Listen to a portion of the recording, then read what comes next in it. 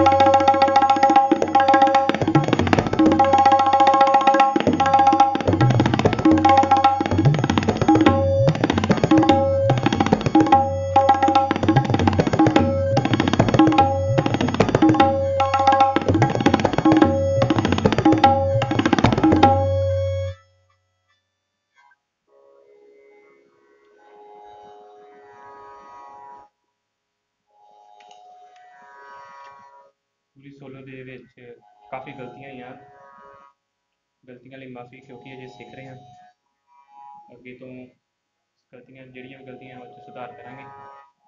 ਸਾਰੇ ਸਿੱਖ ਭਗਤੋ ਜੀ, ਵਾਹਿਗੁਰੂ ਜੀ ਕਾ ਖਾਲਸਾ, ਵਾਹਿਗੁਰੂ ਜੀ ਕੀ ਫਤਿਹ।